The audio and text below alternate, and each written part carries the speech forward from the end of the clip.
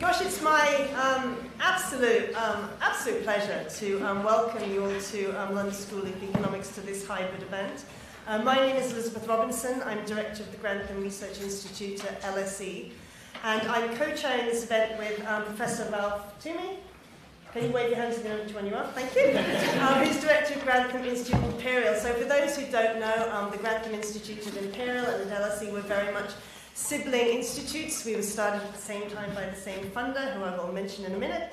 And um, so we are celebrating together our, our, 15th anniversary of the foundation of these two Grantham Institutes. And this is, um, you can figure out from the illustrious um, panel we have, this is a very special event. And I, I want to acknowledge, you know, I've said the word Grantham now a few times, and I just really want to acknowledge and thank the Grantham Foundation for um, something quite unusual for foundations, I think, and funds in general, that the long-term commitment they've shown to our two institutes. And it's allowed us, I think, to have the tremendous impact that we have done. And um, they may not want me to say that, but in the audience, we actually have Jeremy and Hannelore Grantham. So I don't know if you want to... Um, just, just wait, wait, raise your hand so people can see us in there. Thank you. And, um,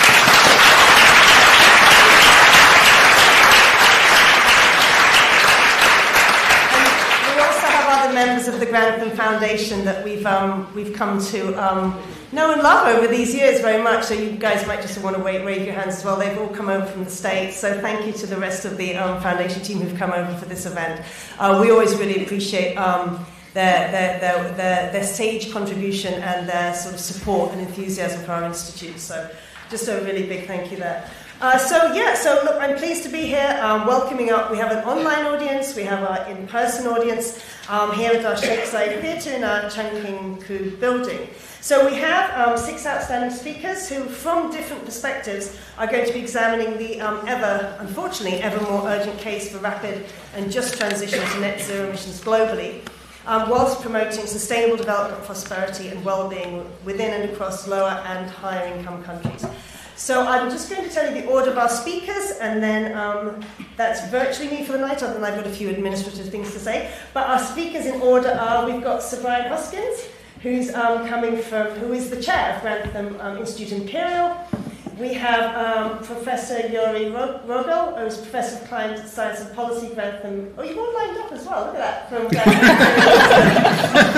we have Amazing. Professor Dominic Stern, who is the chair of Grantham Imperial Grantham Research Institute here at LSE. It's a tongue twister. And then we've got Professor Nick Robins. He's our professor in practice here at Grantham LSE. We've got Dr. Freddie Otto, who's a senior lecturer in climate science at Grantham Imperial. And we've got Kate Higham, who's a policy fellow at Grantham LSE. So just to let you all know that um, this event is being recorded, and if the tech doesn't fail us, hopefully it'll be made available as a podcast subject to technical difficulties. Um, after the speakers have um, spoken to us, there will be a chance for you to put your questions to the speakers.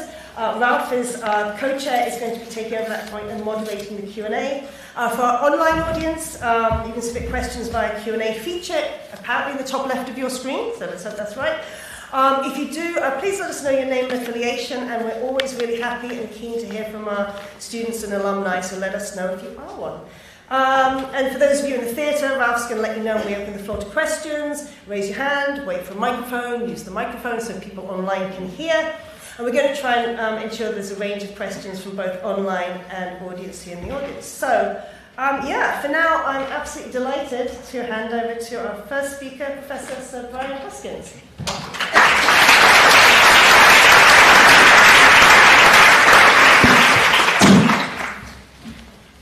going to change slide. I was told this would do it. I thought that would do it. Maybe this. Oh, okay, that was me welcoming you and introducing you. okay. Right, my job in 10 minutes is to uh, make you comfortable with the, or not comfortable with the climate scene as we see it, um, the physical system, and I'm going to go very quickly through some slides which are very familiar to people and then try and, try and draw, draw out a few points and then give you just an overview of the last year perhaps and on the large scale. So this picture here is one you're probably very familiar with. It's measurement of carbon dioxide in the atmosphere and this was taken from two days ago and not to uh, spend too long on it, back from 1958 to present day and you see it rising and rising. And you wouldn't know that anyone had been worried about this because it doesn't seem to stop rising. And what we know is while this continues to rise, then the climate system becomes less efficient at getting rid of the heat. And that means the Earth warms up. While ever this curve goes up, the Earth warms up. And as we add carbon dioxide to the atmosphere, this curve will go up. So, temperature, you're very familiar with these sorts of temperature curves again, and however you do it, they all tend to agree. And the one in the middle is the one that I've shown over the years, but then Ed Hawkins at Reading made remarkable impact on the population by actually showing this as climate stripes, which is what's behind. So there's cold on the left and there's red warm on the right, and you wouldn't believe how that took over compared with our graphs. Anyway, so sea level rise, um, and if we go from 1993, so which has been measured from satellite, then it's gone up 10 centimetres, and from the previous industrial time, probably 20 centimetres. So that one of the things now is you can measure from satellite the weight of ice at the two poles, and we know there is now a contribution to this sea level rise from the melting of Antarctica and from the melting of Greenland. So those are now measurable contributors to this rise, which is currently about three or four millimetres per year. That's um, 40 centimetres per 100 years. Um, so getting on to some of the projections in the IPCC, I won't show too many, but um, this again that most of you will be familiar with. The black bit on the left is what we've had already in terms of globally average temperature. And then it depends on what we do, the projections. So, if emissions fall rapidly to zero, then we could be on one of those lower curves, and that sort of satisfies the Paris target just about. Whereas we keep going as we've been doing and as we continue to do, then we're seeing up at four or five degrees by the end of the century. And if you believe the targets set there for the countries by themselves, then we might finish at the moment somewhere in the middle of that. Uh, now, I want to just, again, these are very familiar pictures. Rather than looking at globally average temperature, uh, just look locally, and I'll, given the time, I'll just concentrate on the one on the left, temperature. So if the globally average temperature rise is 4 degrees, then almost everywhere over the ocean, the temperature rise is less than 4 degrees. That's because it takes a lot of heat to the heat up the ocean. And almost everywhere over the land, it's more than 4 degrees. So we should remember that in the tropics, if it's a 4 degree global temperature rise, you'll be adding more than 4 degrees to the hottest places on the planet. And as we go to the north, to the northern areas, you see even in the annual average, we're looking at temperature rises of 7 or 8 degrees, and in winter time, that's probably more like 12 degrees.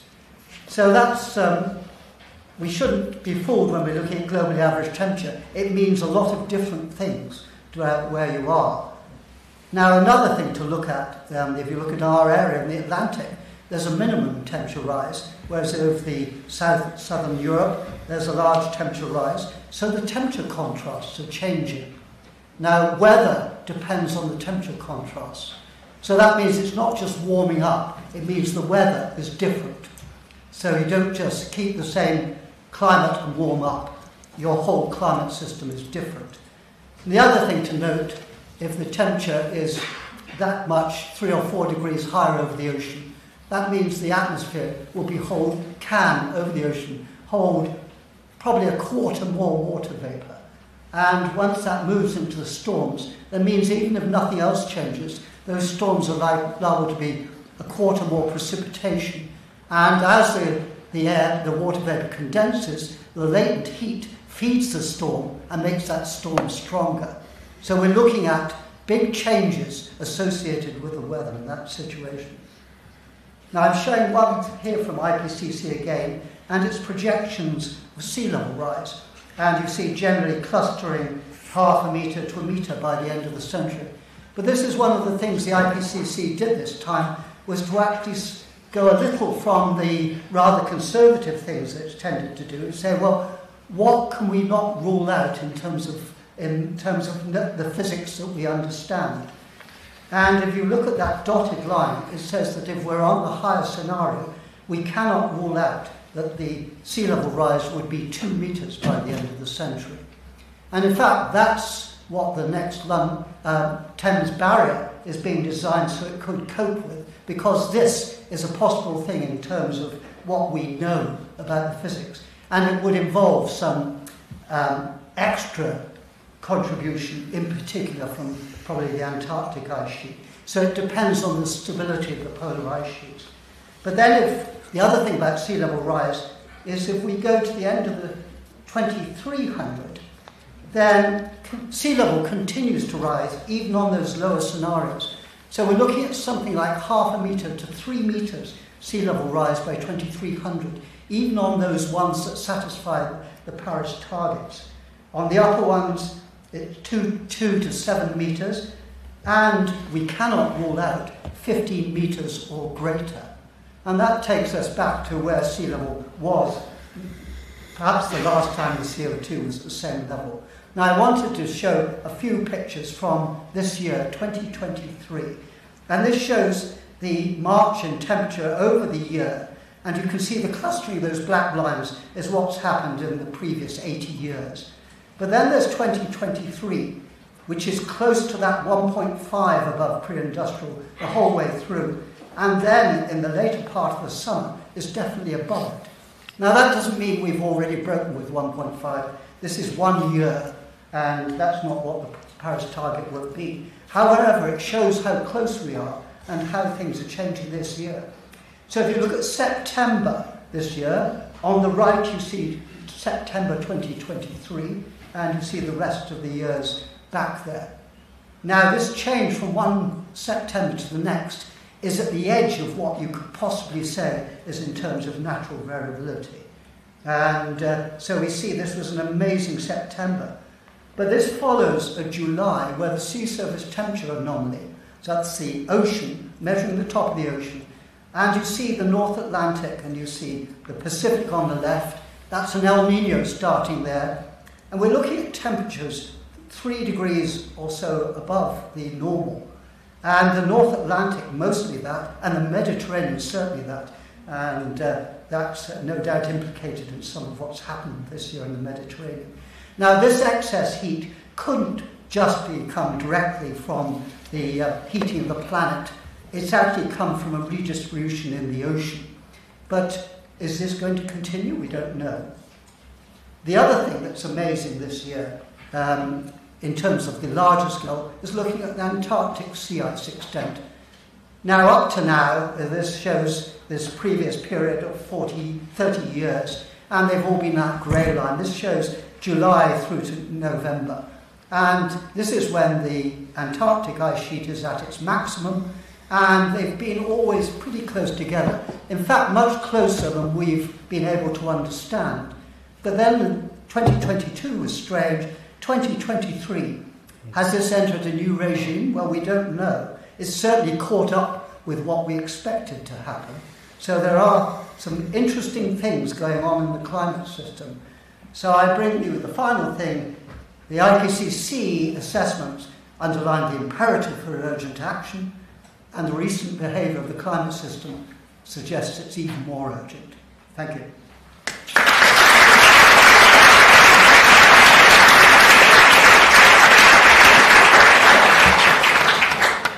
Thank you, Brian. So next, Urius, please.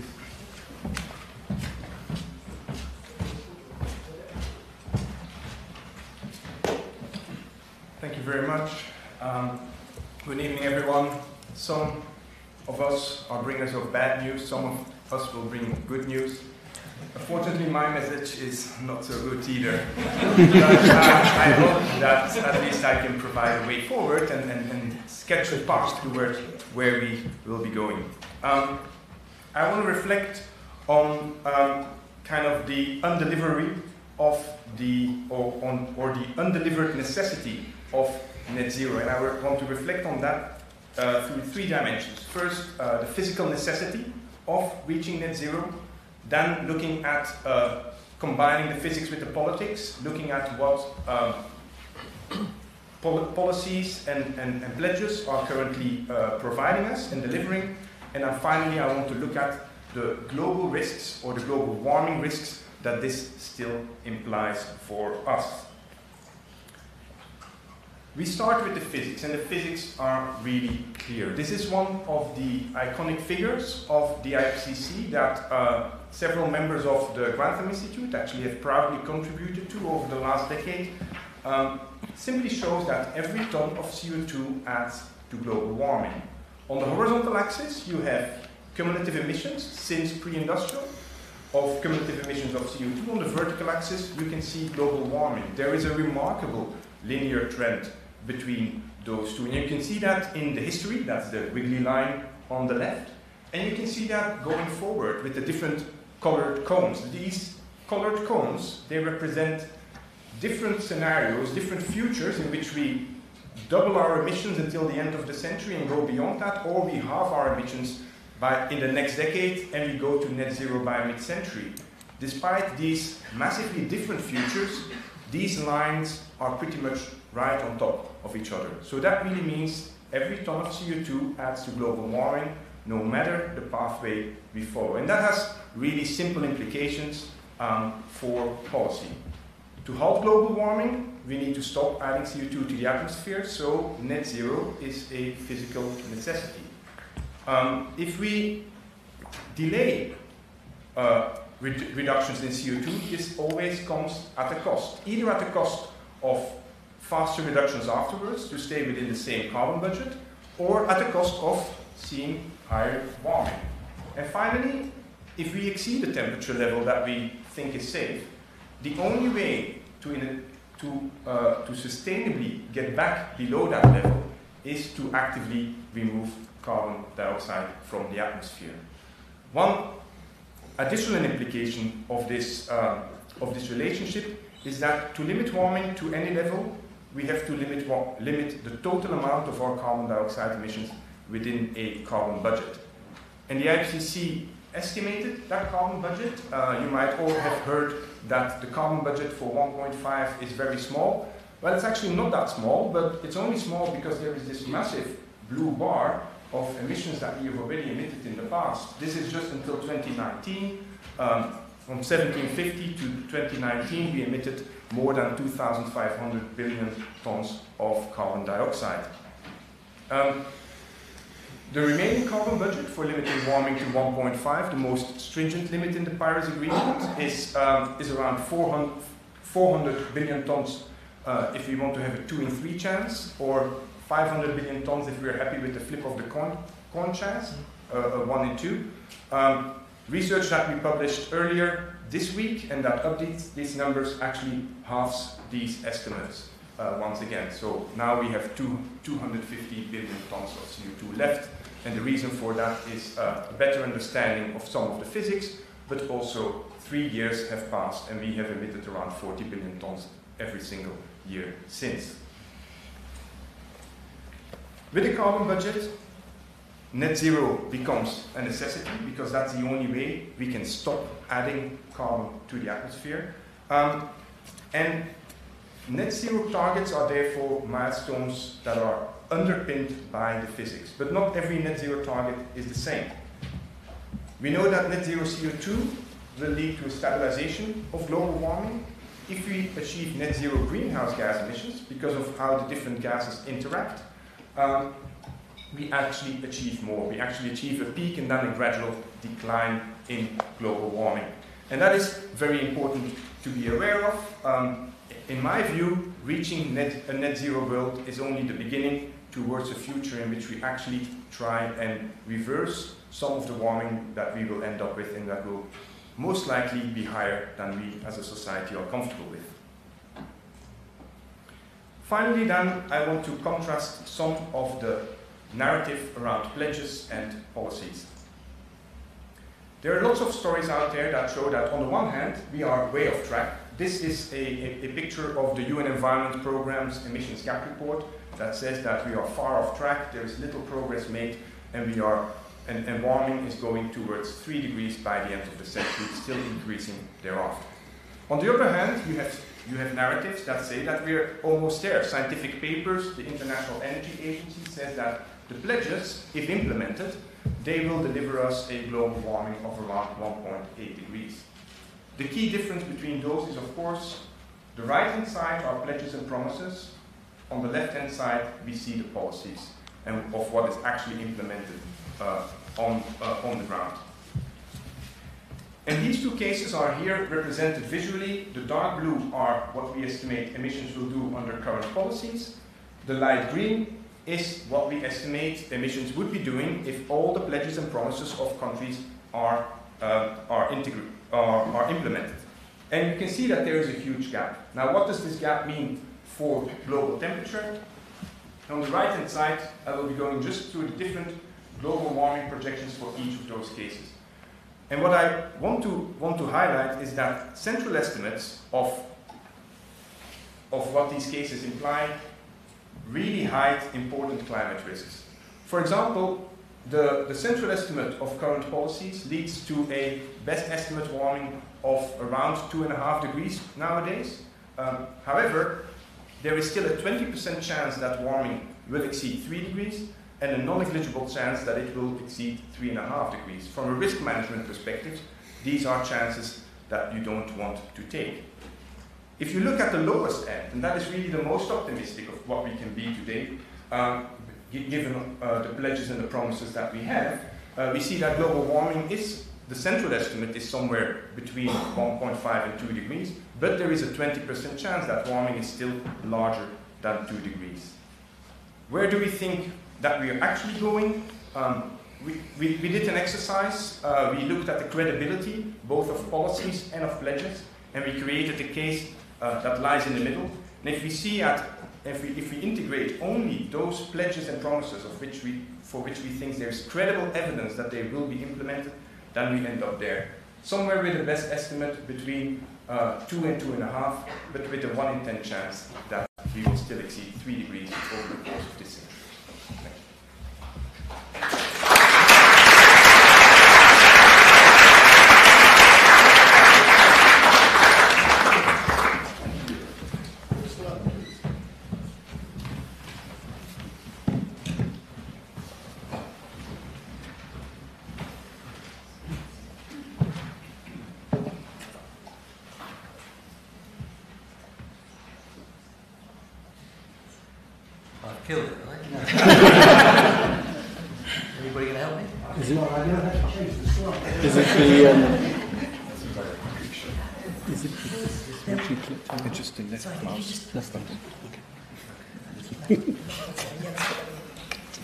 Thank you.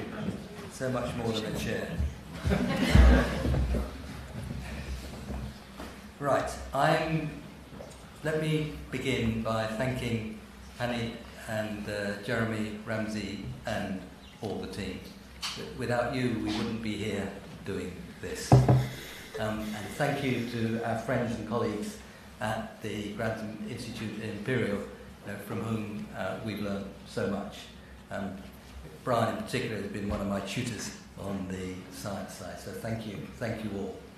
Now, in eight minutes, I'm going to take you through the sustainable growth story of the 21st century, the investment we need to uh, get us there, and how we finance that investment. So I'm going to go pretty fast. We've already heard that uh, action is urgent, and uh, uh Joeri set out the graphs which tell us uh, how fast we have to move to keep anywhere near 1.5 within reach. But what I want to emphasize here is that if we make the investments we have to make, and we have to make a lot of investments to uh, uh, bring down the emissions on the scale that we need, then with those same emissions, with those same investments, we set ourselves on a path of sustainable growth, much more attractive than the dirty, destructive models of the past. And it can be resilient and inclusive growth as well. So that's the story I want to tell, but it's got to be big investment.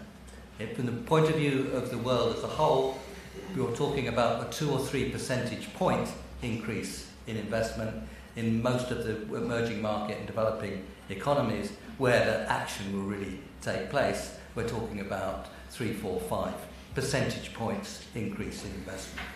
Perfectly possible, from uh, a world economy which has suffered from a deficit investment, perfectly possible, that's the basic Keynesian macro, and perfectly possible in terms of history. If you look back 20 years or so, those levels of investment were higher. So a big challenge, but it's possible, it's feasible. To coin a phrase, uh, yes, we can. The, for investment to come into existence, whether you follow von Hayek or Keynes, it's about expectations and it's about risk and it's about getting things done. So, in order for that investment to happen, you need clear, strong strategies around the world, and uh, uh, you have to have uh, investors who can see where it's going and have reason to believe that if they invest, they can get the revenues and they can get things done. So that's the challenge of policy, and of course, institutional structures can be very important in creating that investment. So that's the story. I'm not going to dwell on this, Joeri has already given it to you, but Michael Mann, in his book uh, Fragile Moment, essentially said that this is the next, in this next decade or so, we will decide whether we're going to be anywhere near 1.5 or whether we're likely to be uh, closer to 3. That is in our hands in the next uh, 10, 15, 20 years. Um, 1.5, as Michael put it, as Mike Mann put it, is bad. 3 is potentially civilization ending bad. So that's the choice that we have to make, and we have to make it consciously and directly. Those who say, well, all this investment stuff's all too difficult, and why don't we go a bit more slowly, uh, are essentially, in one way or another, uh, denying the science. They're saying, actually, if you do postpone, if you do end up nearer uh, three degrees, actually, uh, we can manage it, it's not too bad. And for me, they, the delay story is the most risky and the most unrealistic of all outcomes in terms of um, uh, what it means for us all. So we can't accept that it's too difficult.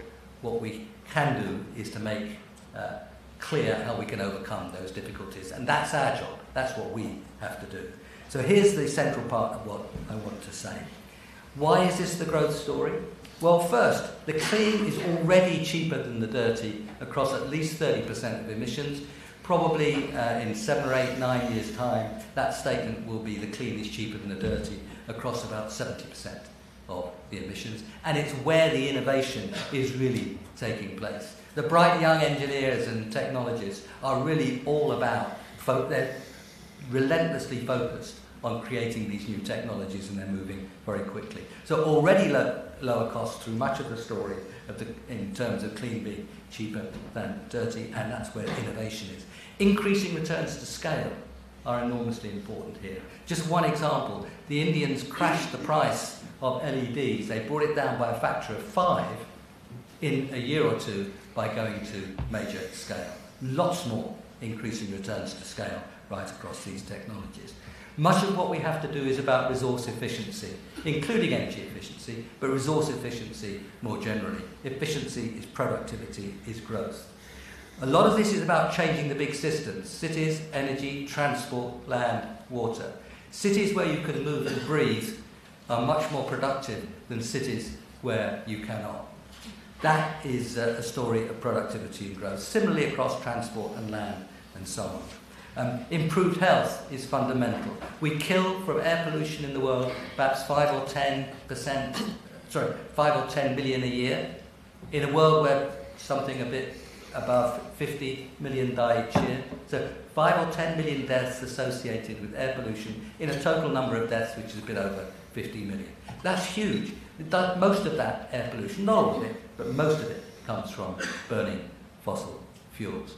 And I would, I would hope that um, uh, not killing people is a good idea anyway, but not maiming people is also a good idea, and maiming people is also bad for productivity. And of course, if you increase investment itself, you'll drive growth forward. The only one of these six stories in our standard general equilibrium macro growth models is the investment one. All the rest is by assumption excluded from those models. In other words, those general equilibrium integrated assessment models are writing out of the script everything that's interesting and matters in this story. It's all about structural change. How much do we have to invest? In emerging markets and developing economies outside China, I'm taking this from the work with Amar Bhattacharya, Vera Songwe, and uh, others. Just focus on the 2,400, which is in the middle of the bottom row.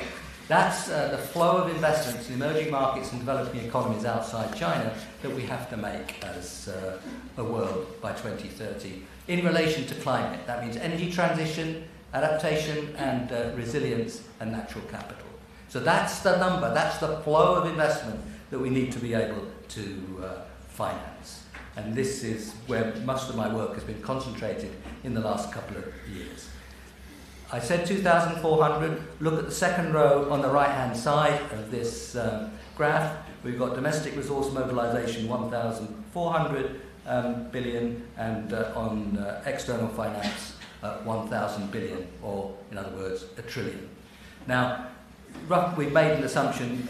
You know, it, it's crude, but it's based on experience of what can be generated internally. In most economies, most of um, investment is financed internally. And a lot of these economies, that wouldn't be so easy to do, but it would still be the majority. How do you generate 1,000 um, billion a year, 1 trillion a year? Roughly speaking, we suggest it's split in these three ways, which is the bottom row of the right-hand side. A bit over half is, um, a bit over half is um, private, uh, something like 250, 300 would be uh, MDBs, and something like 150, 200 very concessional finance. That involves a tripling a tripling of the financial flows from multilateral development banks. That's what we put to the G20. That's what went to the, the annual meetings of the World Bank and IMF in Marrakesh just a couple of weeks ago. It was welcomed by the finance ministers who asked uh, Brazil, next president of G20, to work on the implementation, and it was welcomed by the heads of the MDBs. We've got a real chance of getting there. It doesn't mean it's easy, but it means very strong support from the shareholders. So work on your shareholders of those uh, institutions. Last slide then, this is what we have to do. We have to create the conditions so those big investments can come through. Uh, a lot of countries have debt, fiscal constraints. Those uh, we have got ideas about how to handle that. You've got to create the, the new highway for private finance so that the ability to come is there. That means managing the risk for those for the finance, both on the investment characteristics themselves uh, you know, whether you can sell the electricity that you're generating, for example, and the risk sharing. I've already mentioned the uh, triple agenda. There's a great deal to do on concessional and debt-free finance. That will include the overseas development assistance. It will include um, uh, use of uh, special drawing rights. It will include philanthropy. It will include voluntary carbon markets and so on. So that's the story. We really can do this. I'm enormously optimistic about what we can do. I'm deeply, deeply worried about what we will do. But our job is to turn what's possible into uh, what actually happens. Thank you.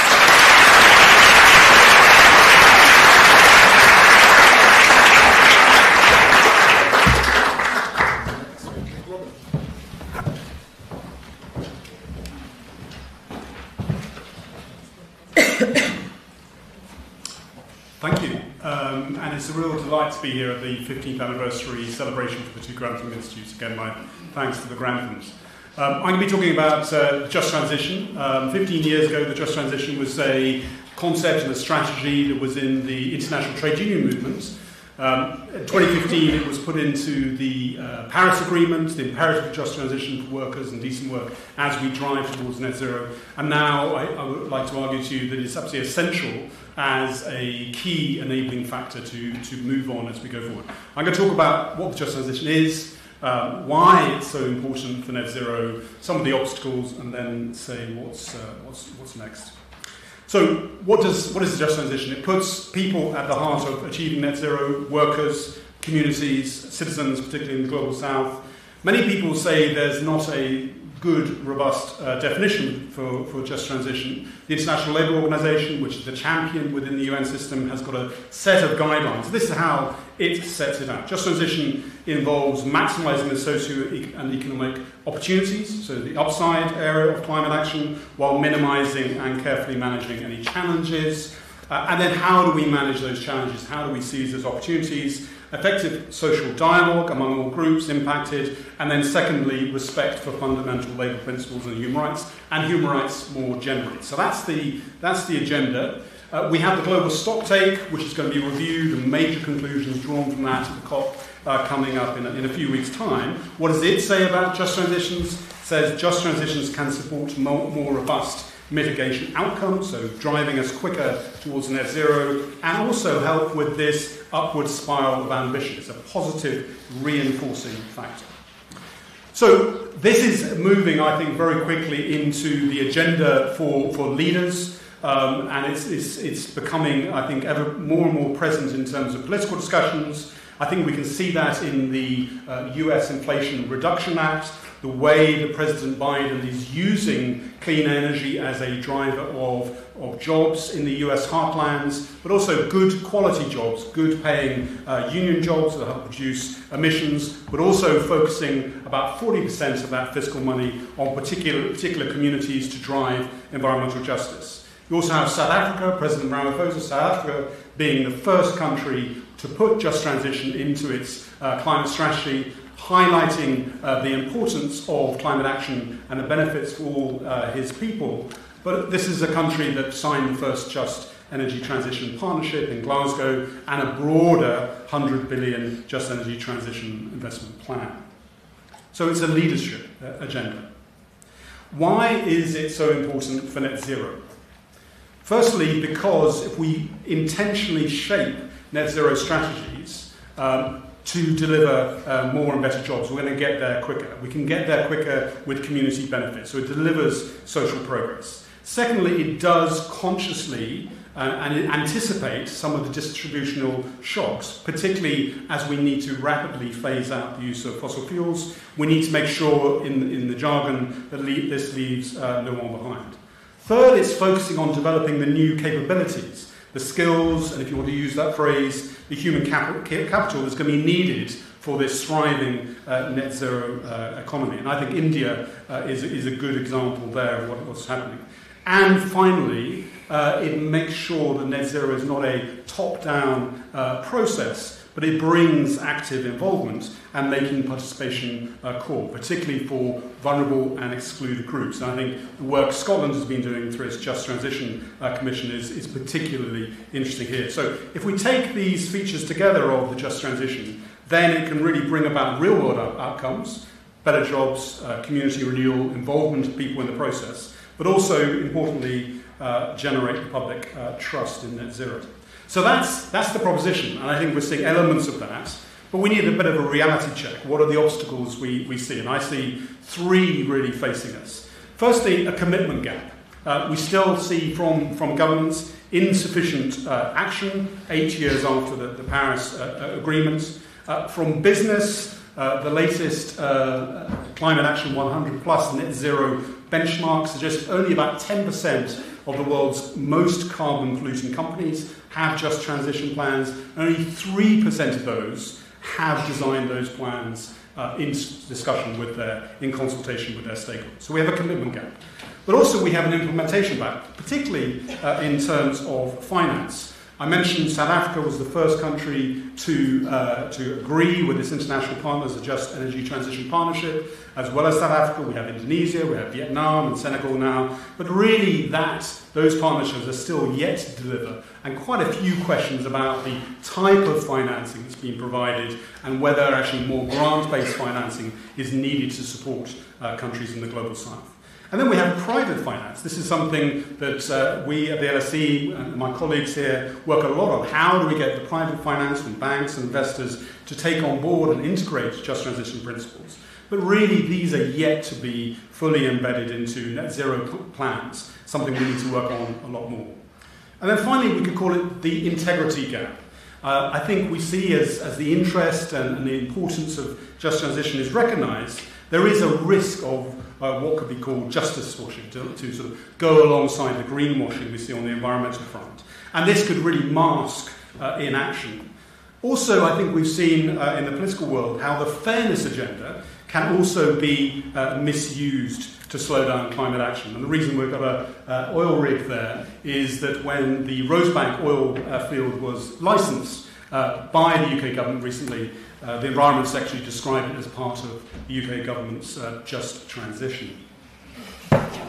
So, what's, what's needed next? Clearly, we need better policy. Uh, we need to make just transition really core to net zero policy, not, not just in the energy system, but also in terms of nature, in terms of agriculture, land use, and ending deforestation.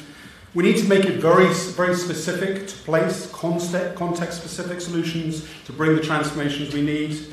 Within the business world, we need uh, businesses to agree just transition plans with their workers and stakeholders. Finance, we need the finance sector to change the mechanisms they use and the metrics they deploy to measure performance to drive system transformation. And then in a few weeks' time at COP, we need to negotiate a strong just transition work programme in the UNFCCC and then back it by public finance to deliver in the global south. Thank you so much.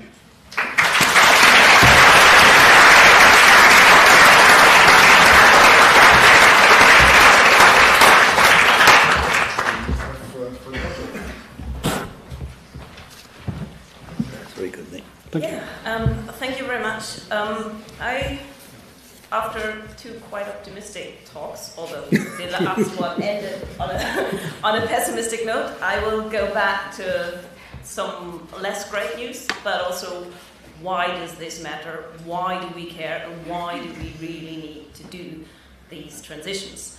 Um, so we, of course, in this room all talk about climate change all the time and care about it, but most people don't and most people don't talk about it or care about it. But when the question comes up is when something like this happens, or something like what we have just experienced uh, this day, um, uh, more to the south than in London, but Storm Ciarán, then suddenly everyone asks the question, is this climate change?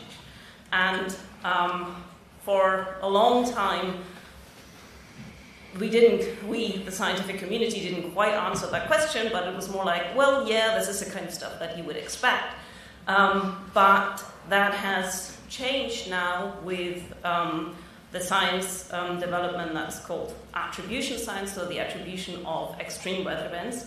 And what you see here is the result of one of these studies that we did um, with the team at the Grantham Imperial for World Weather Attribution uh, for the extreme rainfall that led to the very severe flooding in Libya and previously in Greece. And um, the results were that climate change, um, our burning of fossil fuels over the last years, has made this event up to 50 times more likely to occur. But of course, um, there was the rainfall and the role of climate change wasn't the only reason why this weather event led to a disaster what turns weather into a disaster is always uh, vulnerability and exposure.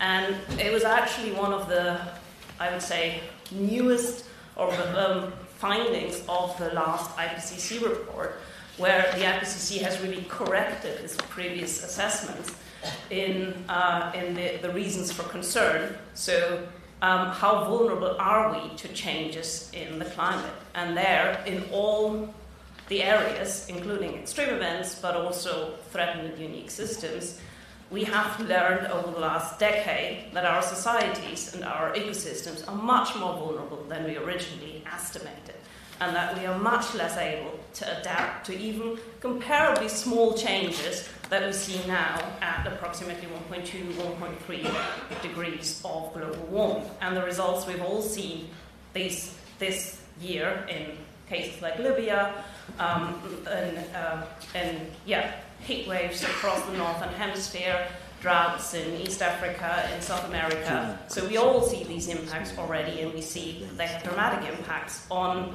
ecosystems, but also particularly on people. And the more vulnerable people are, the larger the impact. So in this event, more than 2,500 people died, which is a very, very large.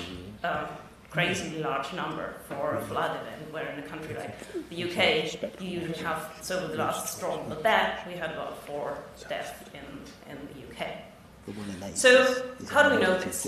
So the idea, how, why can we do this now and couldn't do this before? So the idea behind um, extreme event attribution is very straightforward. And uh, what you see here in the top graph, that's the, the, the simple, straightforward way, but it's real data. It's from the um, from the heatwave in southern Europe in July earlier this year.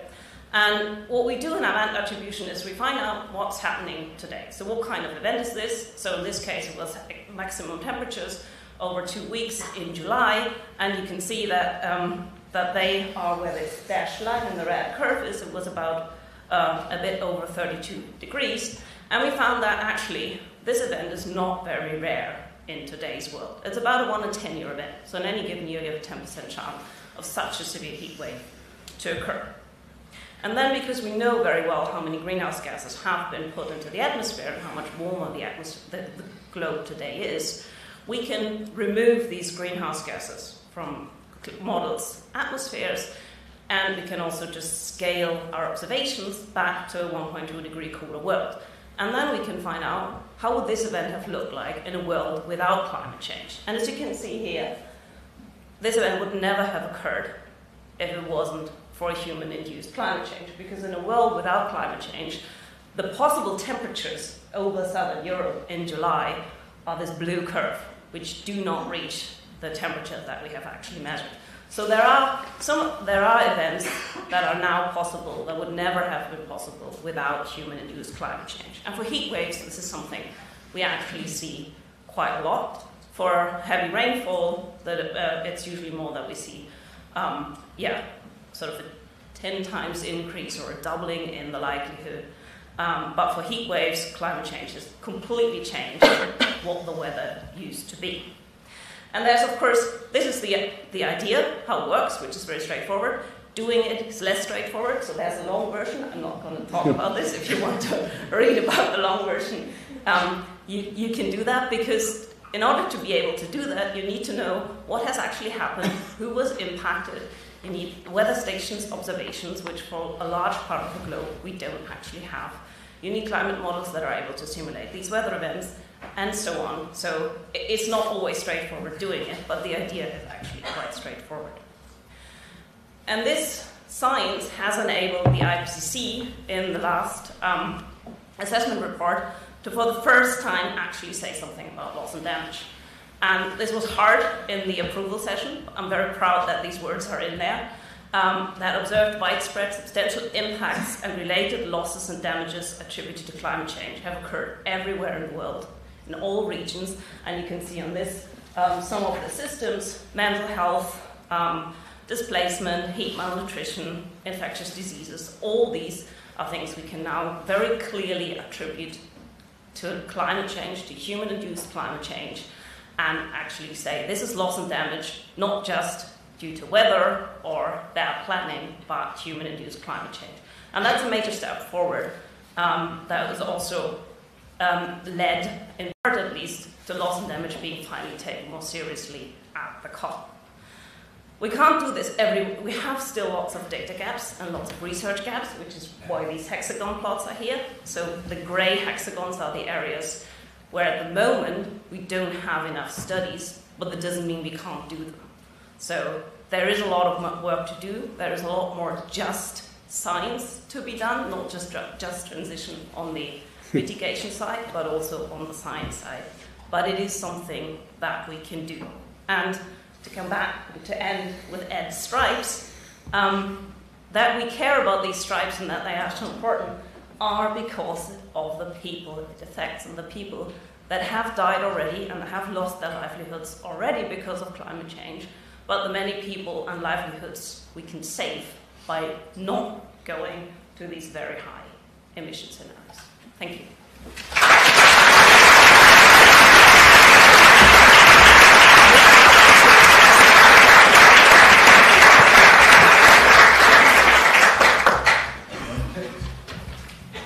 Thank you. So, I'm going to talk today a little bit about the role of the law in all of this, and in particular, the role of litigation. Uh, and I'm drawing today on about 10 years of research at the Grantham Research Institute, looking at both climate change legislation, the laws that countries pass to address climate change, and climate change litigation, but I'll be focusing on the latter. I want to start by introducing you to two uh, climate change cases. The first, which um, is here and I'll talk about in a second, is really looking backwards and thinking about who is responsible for paying for all of the losses and damages that Freddie has just been talking about. And the second kind of case I'm going to talk about is forward looking. It's about those scenarios that Joeri was showing us and who has duties and responsibilities to try and get us to comply with those scenarios or to meet those scenarios. So this case, the first case I wanted to talk about, is uh, about um, was filed in the 15th of September, just this year, by uh, the state of California against five major fossil fuel companies and some of their subsidiaries. And the case essentially argues that these fossil fuel companies knowingly cause significant greenhouse gas emissions to be emitted into the atmosphere through um, the extraction and the burning of fossil fuels and that they also engaged in a campaign of deception and fraud uh, around the impacts that these fossil fuels would have on the public. Now, California's case is not the first case of its kind to be raising these kinds of issues. It builds on around 20 other cases that have been filed by cities and states across the US. But I think it's very significant that an economy the size of California um, that is itself a big fossil fuel producer, has nonetheless decided that this kind of litigation is significant enough and likely enough to have some chance of success, or at least some chance of impacting uh, the climate debate, that they've gone ahead and filed a case as well. I've mentioned that there are more than 20 of these cases in the US. There are also a number of cases that are looking at who should pay the costs of um, climate damages uh, elsewhere in the world. Two cases in particular filed in Europe, but by plaintiffs in the global south, in Peru and Indonesia, who are arguing that European companies, uh, the German energy giant RWE and the, uh, the Swiss uh, cement giant Holcim, should be responsible for paying some of the costs that their communities are incurring. So that's the, the backward looking cases, and these really um, wouldn't have been possible about 10 years ago without some of the science that uh, Freddie has just been talking about. This is a picture of one of the lawyers in uh, one of the forward looking cases that I've mentioned. This is Donald Pols, and he is celebrating a landmark victory that he has just received from the Hague District Court in 2021. This was a case that was brought by Milieudefensie, the NGO that Donald works for, against Shell again. And the argument was not that Shell should have to pay for the damages that its pollution is causing, but instead that Shell needed to listen to the science that we've just been hearing about and rapidly reduce emissions in line with um, the need to get to net zero and 1.5 degrees. And the court examined Shell's transition plan and they said, you know what? You're not acting fast enough. You need to do more by 2030. You need to reduce emissions by at least 45% um, by, uh, on 2019 levels by 2030. Now, that case is under appeal. We don't know what will happen in the courts. But I think it's really important because, one, it's given rise to a number of other cases before European courts against um, uh, other fossil fuel companies, but even banks and supermarkets. And two, it builds on a whole host of cases against governments, which are also arguing that governments have legal duties to do more to stop climate change and to act in line with the science. So, putting these two cases in perspective, are these just isolated incidents? I've told you about what, sort of 40 cases? Well, they're not. We know that there are more than 2,300 cases around the world that mention material issues of climate change science fact or um, law. Um, most of these have been filed since the Paris Agreement, and most of them have also been filed in the US. That's the lighter coloured bars you can see. But they now exist in at least 50 countries around the world. And one of the things that's very significant about this field and where it differs from other fields is that it's not just uh, cases that are you know, trying to resolve run of the mill disputes between neighbours about um, sort of land boundaries and things. But many of these cases are intentionally filed with the goal of influencing the wider policy debate on climate change. And of course, the cases I've just been talking about fall within that category. I want to say two things about strategic cases before I move on.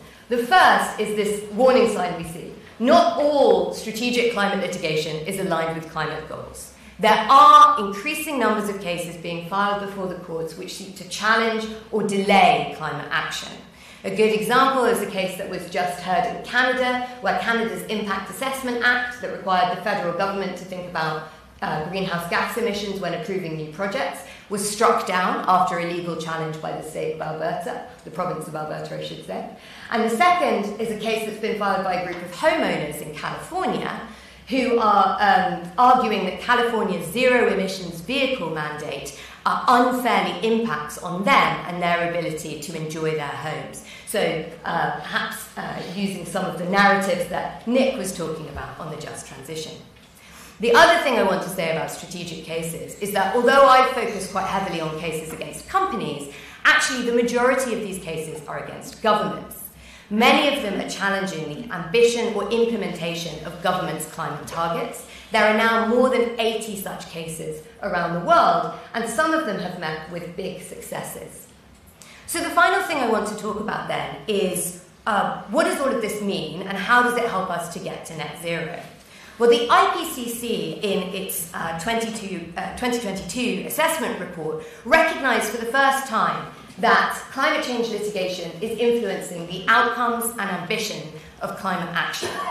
And that was based on a series of academic studies that have started to be developed to try and uh, impact this area. One of the newer ones that wasn't included in the IPCC uh, um, assessment uh, is this one, uh, where you can see the results on the, um, on the slide here. And this was an effort that was uh, led by Joana Setzer, uh, Frank Venmans, and Misato Sato, all of whom I think are in this room this evening um, and, and have been working at Grantham for a long time. And this study, we tried to understand whether or not, when a climate case is filed against a company, it has an impact on that company's share price. And our results suggest that it does. And this is just one of the ways in which we see climate change litigation influencing um, uh, the action towards the transition that we've just been hearing about. So I think the role of the law in uh, this net zero transition is a very significant one. It's often not one that people have heard about, uh, but we do see that these cases are a big driver uh, of some of the ambition that we know is lacking. Thank you.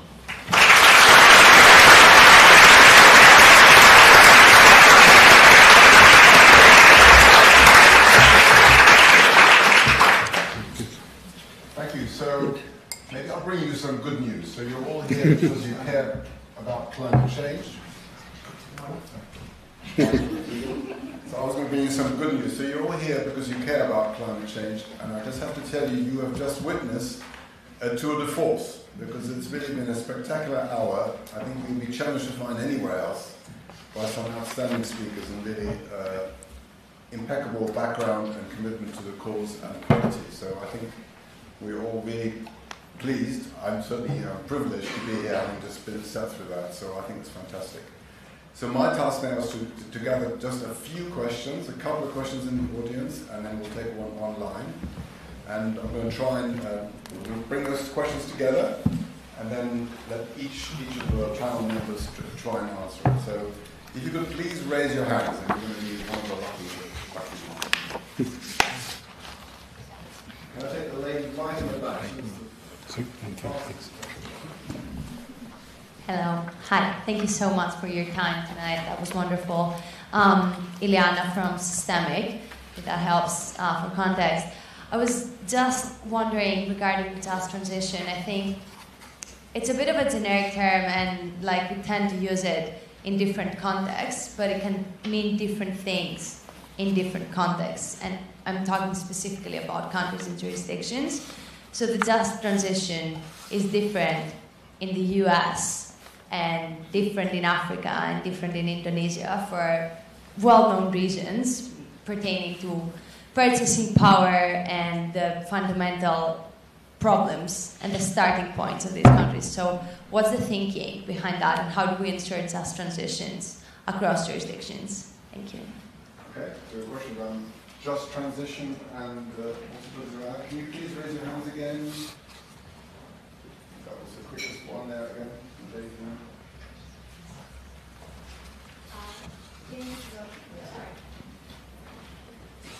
Hello? Oh yeah, okay, perfect. Uh, yeah, thank you to the panel. My name is Julia. I'm an LSE alumni and working at the EBRD right now. Mm-hmm. Uh, you talked about mobilizing finance both from public institutions as well as private. Um, and I think it's the private that do have the biggest role to play in this. I think, especially if you look at MDB lending, it's not significant if you compare it to any of the major corporate banks. I just wanted to ask the panel how you see this uh, playing out in the future. Can we actually expect private and corporate banks um, to participate in the just transition and green transition? Thank you. So how to mobilize private finance. And, oh, do we have a microphone in the front?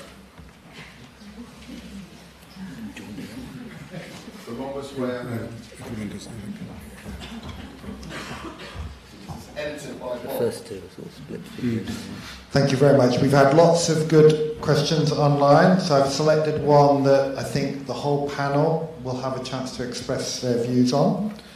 What does the panel, and this is from Susie Shingler, she doesn't say uh, where she's from, but what did the panel make of the UK government's decision to continue to offer new licenses for drilling for oil and gas in the North Sea? And I'm looking forward to hearing what the answers are. It's going to be quick. I think I'll be surprised to hear a diversity of answers. Let's see if we can get a diversity of answers. So, Brian, do you want to start us off? Well, I'll start on number three, give a very short answer. Pathetic.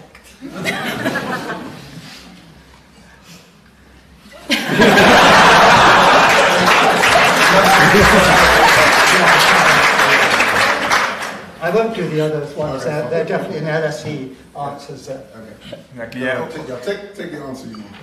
Also, o- o- only on the, on the last uh, question, um, well, not only aligning with, with, with Brian's uh, very skillful uh, uh, description of the situation, I think uh, not only the, the licensing uh, or, or, or the new licenses, but also kind of the rollback on key, uh, on key policies that uh, will result in a slower transition and, and, and, a, long, and a stronger lock-in into, into technologies that we need to get rid of, um, yeah, is, is really not the right way and, and not the right way forward for a, even, even not for a just transition.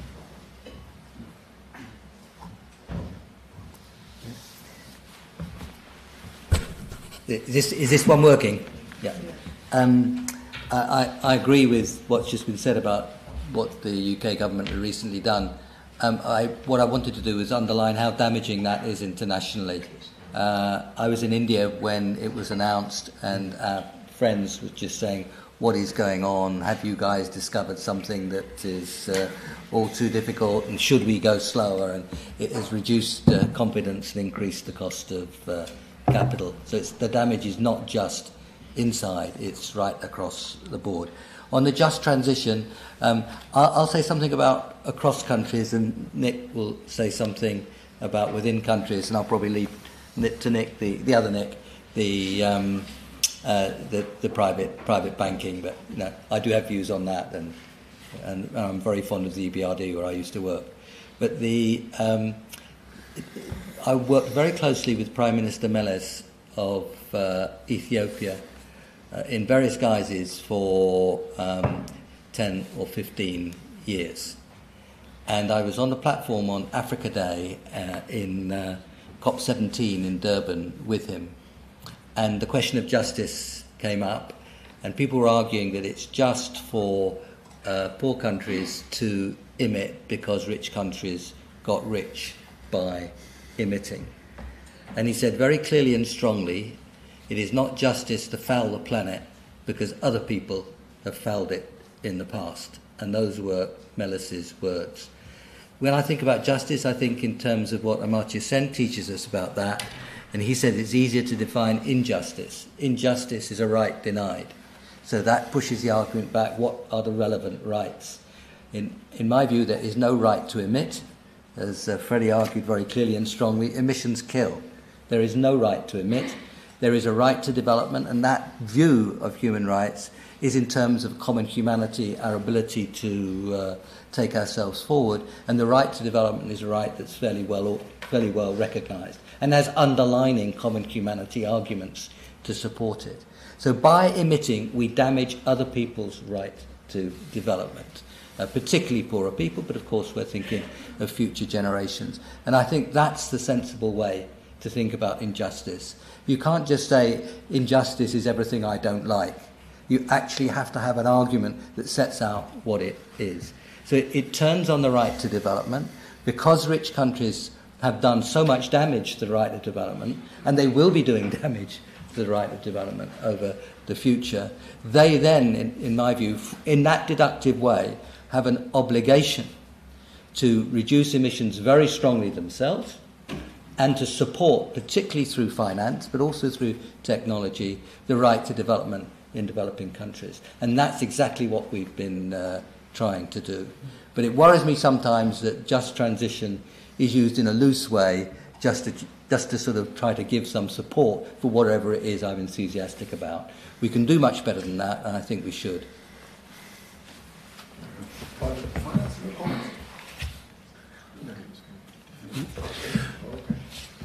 So on the, the licensing, oil and gas licensing, I, I think to, to add to what's been said, I mean, it's also flew in the face of all the recommendations from the Climate Change uh, Committee and others. Uh, the analysis, it doesn't, doesn't actually help with energy security, which was the basis on which these uh, decisions were made. And also, I think it, it, it, it uh, is also made in the context where the development of the North Sea has been done without consideration for uh, a transition for that, their work, workforce. There's been a big gap in the, in the, in the policy. So it's, um, it's a leadership failure. Um, it's going to lock in um, uh, jobs and, and in, in the North Sea in the oil and gas sector, which does need to be brought uh, to the end and with a, a just transition for that workforce. Um, when actually there are a lot of um, programs that are being developed um, by, by workers and communities to do exactly that. So it's a, it's a very natural uh, backward step. Um, on, on, on the just transition, I think it is clearly uh, a combination of two things. We do need to have uh, global standards and principles, particularly around human rights, particularly around labour standards, particularly to give the just transition a spine so it doesn't become uh, uh, everything that anyone wants it to be. But it does have to be interpreted in, accordance with national circumstances. One example was recently some work that was published in South Africa uh, by TIPS, the Trade and Industry Policy Studies um, Group, which was trying to divide what could be conceived as a just transition transition, finance transition in South Africa. They looked at what had been done and done by people here in, in London and said, well, that's fine, but because we have the legacy of apartheid, we have the legacy of, of, um, in, uh, of, of, colonialism and so on, and because of our circumstances, we need to do it in a certain way, and particularly we need to emphasize certain parts of the just transition for our circumstances. So clear uh, global principles, um, but also the need to really adapt it to, to circumstances. And finally, on the, uh, the finance side, um, clearly we need to reform all the the faders uh, in, in the market which misprice uh, carbon. We know, we know that. Uh, we need to reform energy, agriculture, and all these other policies. But we also need to sort of fix um, problems in the, in the financial system itself. One of the things that actually the UK is doing well at the moment um, is uh, designing a framework for mandatory publication of transition plans, net zero transition plans, which will be a requirement for all major firms, all major businesses, but also major banks, pension funds, insurance companies, and so on, to actually set out not just what targets they have, but how they're going to get there in terms of business models, in terms of their capital expenditure, in terms of consultation with stakeholders, and in terms of the governance. Now, that is going to become uh, mandatory, hopefully soon, uh, but I think it might be a bit of politics in when. Yeah, well, as Brian said, most of these questions are LSE questions. So um, I, I just want to, on the just transition, um, highlight one aspect that we often don't talk about because, as I've shown, there's also, uh, and, and Brian's, um, Brian has also shown, we also need to adapt. So there's no, um, climate change is already here. And um, adaptation at the moment is when it, adaptation funding is usually for kit. It's for building a dam, for doing some infrastructure. But, well, the Paris Agreement is a human rights um, treaty, and we care about climate change because we care about humans. And what actually may, leads to the largest vulnerability is not that there is no, no dam or that there's no infrastructure, but that there are no people who can maintain the dams, that there are no people who can maintain the weather stations, who can build the early warning systems, who can do the communication. So I think what is really, really important for just adaptation is the investment in people and the capacity of people and the long term partnerships and not doing some developmental aid to build a three year dam project and then go away, but the the really the long-term investment in the people and then the, the human capacities. That is what, what will create resilience and the biggest gain on adaptation. Well, maybe I'll, I'll build on what Freddie's just said on uh, just adaptation by mentioning a case that's just been filed in the last week in the UK, which is uh, actually challenging the UK and our adaptation response and the way in which that is failing communities because we aren't building in this kind of resilience into the system. Uh, and that, I think, shows that one of the things we can learn from litigation is where there are a lot of gaps um, so it's often kind of the canary in the coal mine on what has been lacking in just transition responses. And one of the things we're trying to do is, is study that and, and understand actually how can we design policy in ways that will avoid these kinds of cases from happening in the future. Um, the other thing I wanted to talk about was uh, private finance mobilisation. Um, so Nick has already talked about some of the legislative changes that are coming in in different jurisdictions to require um, private finance institutions to do more or to consider climate risks um, more uh, fully in um, uh, their internal processes. We're also seeing that uh, as an area where we have a lot of climate change cases. So, a case was filed earlier this year against BNP Paribas, arguing that um, they are breaching human rights standards under a French piece of legislation called the Duty of Vigilance Law, which requires companies to uh, think about human rights and environmental impacts in their business plans. Um, and uh, the argument is that by continuing to finance fossil fuels, uh, they are breaching this law. Uh, and so we are seeing already the legislation we have in place being used to try and um, force more action, uh, but I think we're also going to see much more legislation in the future. Uh, and then on, on the final point about the licensing, I think that's that's been adequately covered. can I can I just one thing to the question from EBRD about private finance because it, it, it's absolutely uh, central. Um, insisting on transparency, insisting on legal responsibilities is one thing and it's important, but so too is the enabling. And uh, in the report, which uh, you probably saw the report from N.K. Singh and Larry Summers, I, I was part of that so-called independent expert group, and we recommended that the uh, uh, financial flows from the MDBs uh, are tripled, and that they work much more closely with the private sector and they work much better together as a group to create the uh, environment and uh, country platform investment climate where those investments can take uh, place. So it involves um, reducing the risk on the investment themselves and guarantees, equity, mezzanine loans, and so on, various combinations of support from the MDBs which can help share and reduce the risk to the uh, private sector. So it's one thing to do the transparency and the obligations, but you also have to enable the investment and act to share the risk. That was welcomed by the G20 finance ministers and by the heads of the MDBs, including President Odile of your institution. Brian. Yes, could I slightly elaborate my perception? Last word. um, I, our Climate Change Act in 2008 that went through Parliament, 453 for and I think 5 against, something like that. We know who they were. And, yeah, and those 5 have multiplied somewhat, but anyway. Um, and it is a fantastic act. It is. It uh, had the, the target in there, which was 80% reduction, which was later changed to 100% by 2050. And it had the um, five-year targets for carbon pledges.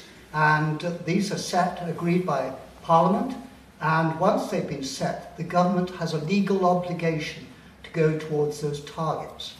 Now, I set up another part of the Climate Change Act was the Climate Change Committee, which is there to assist with setting targets and, and suggesting the sorts of policies required and monitoring. Every year it reports to Parliament and monitors how well the UK government and the UK is doing. And I was on that committee for 10 years.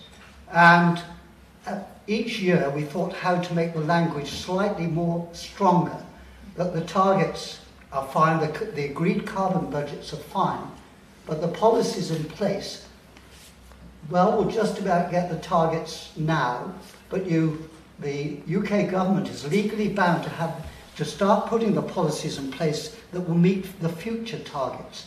Those targets already agreed to 2035, and the Climate Change Committee has said in increasingly strong language the policies are not in place to meet those future targets.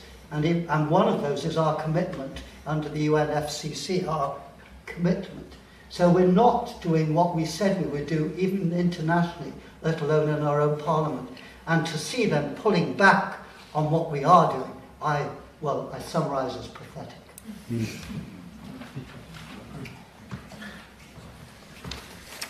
just, uh, just uh, three thank yous from me. So first of all, of course, thank you to the Granthams. Thank you to the Grantham Foundation. Thank you to the speakers. Uh, it's been, like I said, absolutely amazing. And also the organising committee, particularly Alison Peacock. Thank you very much. So please share with me.